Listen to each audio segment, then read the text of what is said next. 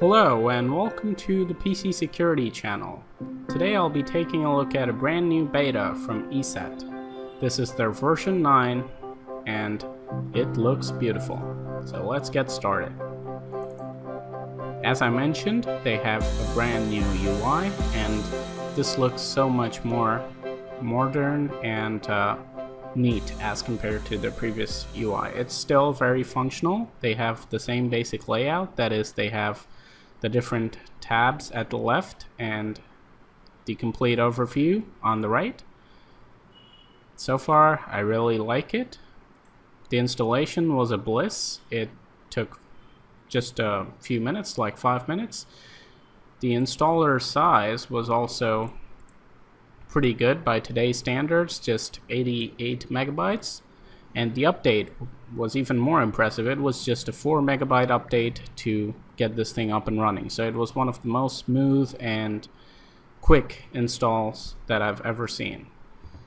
Of course, you expect that with ESET. They're pretty good at this stuff, optimization. So now let's take a look at some of their advanced features. They still have the same scans. And now they have a different banking and payment protection. And they still have the same anti-theft for laptops and mobile devices. Now, their core components, I don't know if they have uh, made some improvements to the intrusion prevention system. That is their main area of, uh, you know, advancement for me, I, would say. Uh, real-time protection and all. I, I think they've got the rest of the stuff pretty well optimized. But let's take a look at some of their settings. So these are the scan parameters and they still have ThreatSense but you know the new fonts and menus I, I really like them but the only concern I have is they're a little bit little bit bigger for this user interface and it can look a little bit clunky at times because of the bigger fonts. But it's still well organized so it shouldn't be much of an issue so ThreatSense parameters, we still have these settings.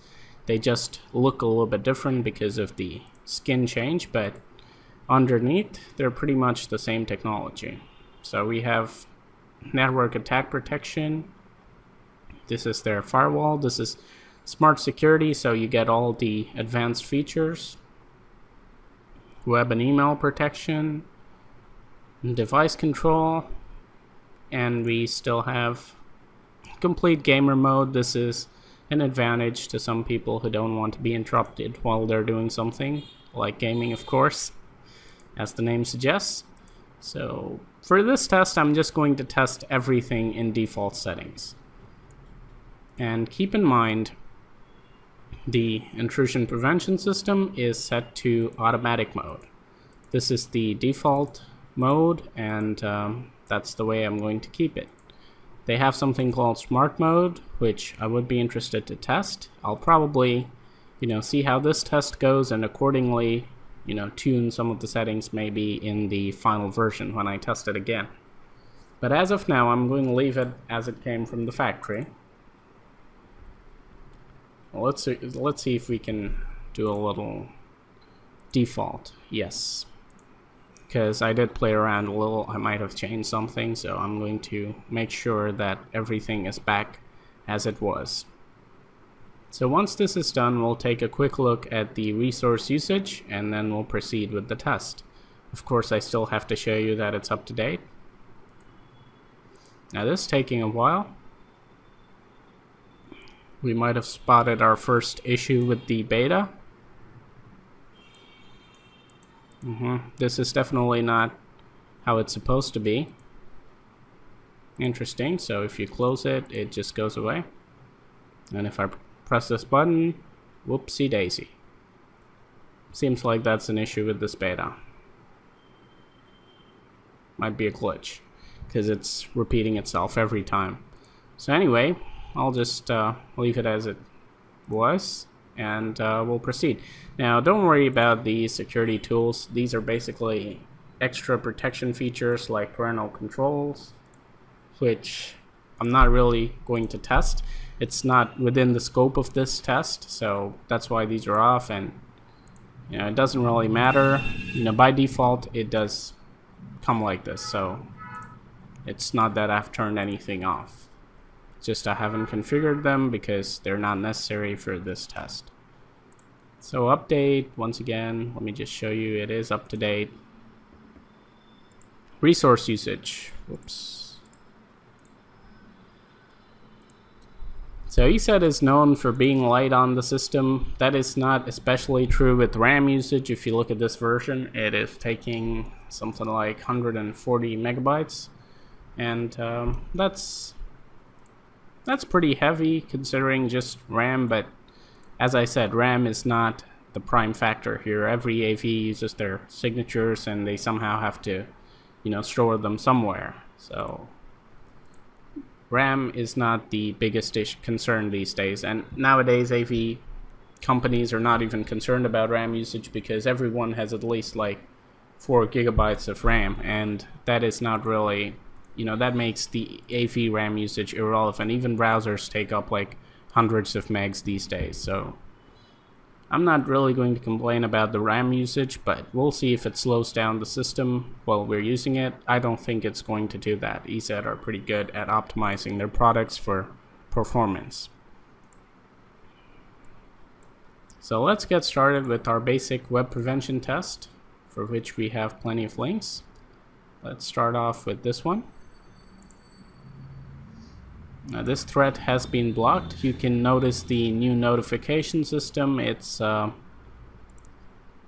like Windows 8 notifications. Some people like it, some people hate it. It's up to you what you think. So this is a big file, images.exe. Again, different name and different extension. An image cannot be an executable file, so if you're smart, you're just going to cancel this download. But I'm dumb, so I'll just let it run and we'll see if ESET can save me.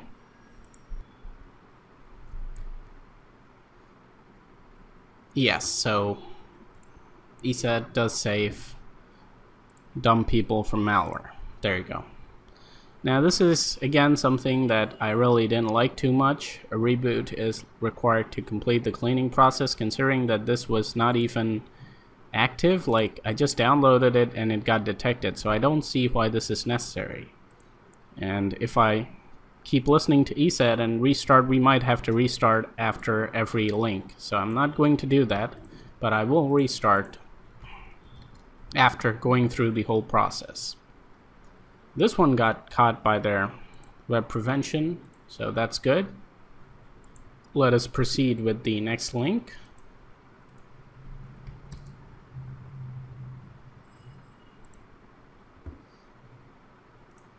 once again blocked by the ESET signatures and reboot requested.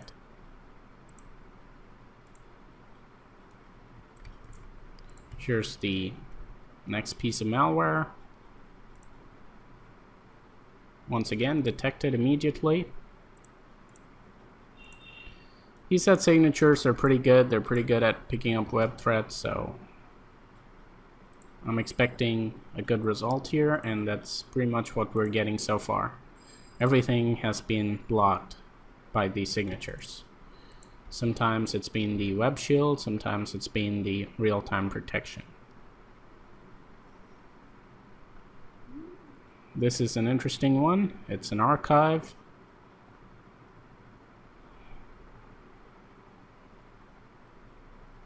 Doesn't matter, it's still blocked. So Good job, ESET. Directly blocking that nasty archive. This is a really long link. Let's see if it can scare ESET away. Nah, didn't work. So it got blocked and that is a clean sheet in the web prevention test. But just for formality, I'm going to reboot the system before continuing. But as we saw, every single link was blocked, so there's no need to go through our second opinion scan procedure. So I'm just going to reboot the system and then we'll continue with the test. Now it is time for the detection test. I usually just do prevention tests with beta products, but in this case I'm going to do a full test. So we have 500 samples that we're going to test it against and let's see first of all what kind of detection ratio it can manage. So I'm going to do a very basic right click scan with ESET. Now this is a nice thing that they've changed. It's not in this version, I believe it was changed in the previous version. But now you don't have to, you know, go into advanced options and select scan with cleaning. By default, it does clean the threat, so that's nice. But then again, this is not something new to this version. Just thought I'd mention it because a few versions earlier that was not the case. Let's see how long it takes to scan. So far it's pretty fast. 179 threats found and it's cleaning them at the same time so two in one procedure but I'm still going to pause the video and I'll be back when all the threats have been removed. As usual, ESET prompts me to select action for several threats and I'm going to select delete for everything.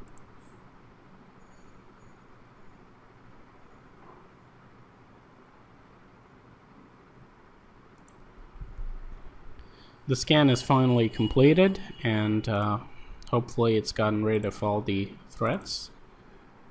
We have 37 items left. To confirm, I'm going to do one more scan.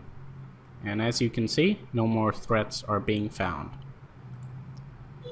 So let us just quickly calculate the detection ratio for this. Should be pretty simple. We had 500 to start with, and now we have 37 left over. So that is a straightforward 92.6% detection, which is pretty impressive considering these samples are just about a day and a half or maximum two days old. So that is a pretty good result for ESET in terms of detection. It's actually a bit better than what I was kind of expecting. So let's re-enable the protection. Now as you can see, we are protected let us test out our zero-day defenses. So I'm going to run these threats one by one and we'll see if ESET can protect us against unknown threats. We do have some kind of intrusion prevention. Wow. So this uh, new download, I guess there's some kind of adware. It's actually downloading 360, which is a legitimate program, so that's why I canceled that.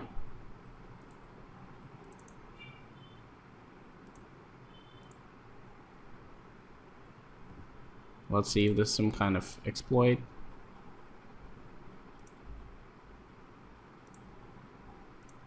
Don't know if that did anything. This one got caught, quarantined. Now potentially unwanted application found. Clean this file, yes. That should get rid of that. Some of these are just broken. I don't know what this is going to do. Uh, lots of questions, no answers. Let's keep going. Now, apologies for the noise that you might be hearing if it's distracting you. Uh, I'm having to film this in a very noisy environment. Not really my preference, but I have very little choice.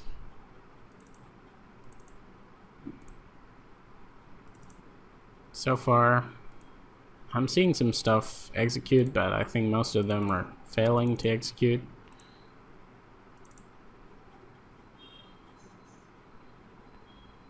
Few working samples. That I'm not getting any alerts for. I don't know if the automatic intrusion prevention is completely automatic and whether it gives the user alerts or not because I'm not getting any alerts so far I haven't seen anything but it might be doing some blocking in the background you never know threat found that is a signature detection I guess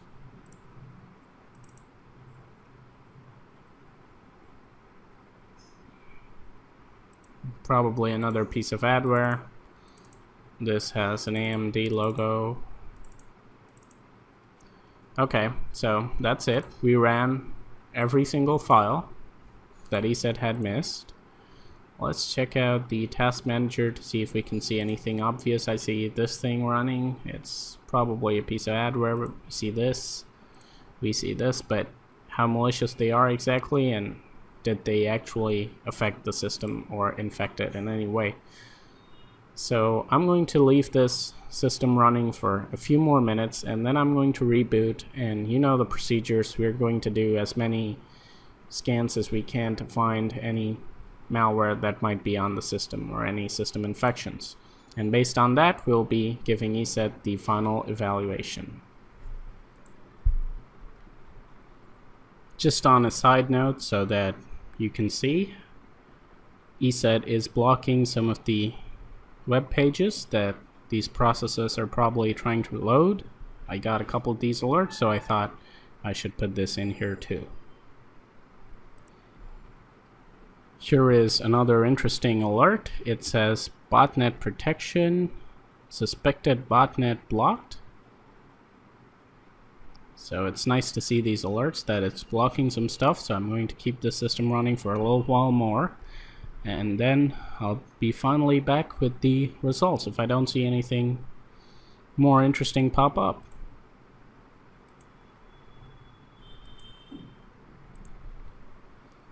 After rebooting the system, it appears that everything is fully functional and working.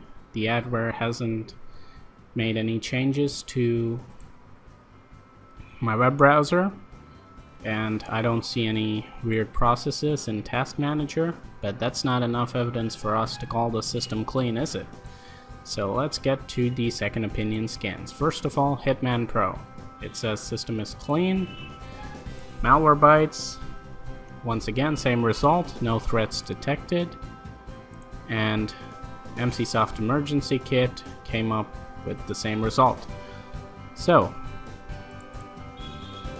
that means ESET Smart Security version 9 beta receives a clean sheet. Now that is a really good result, a small reference for any soccer fans. This kind of result would even make Manuel Neuer proud. So I'm really happy to see this because the last couple of tests that I've been doing haven't had a very pleasant result. They've been a little bit disappointing, but it's really good to see that ESET Smart Security has done a really good job here. So I'll be doing a very thorough test when the final version is released. Until then, goodbye. I hope you enjoyed this test. If you did, please hit the like button, subscribe, and thanks for watching. Stay informed, stay secure.